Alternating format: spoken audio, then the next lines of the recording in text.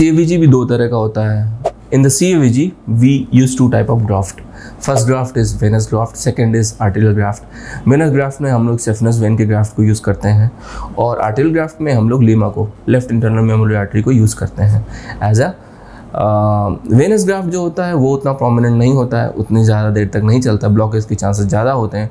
But Lima जो होता है लेफ़्ट इंटरनल मेमोरी आर्टरी जो होता है, वो क्या करता है, वो पल्सटाइल फ्लो देने की वजह से उसकी ड्यूरेबिलिटी ज़्यादा होती है। This is summary about CABG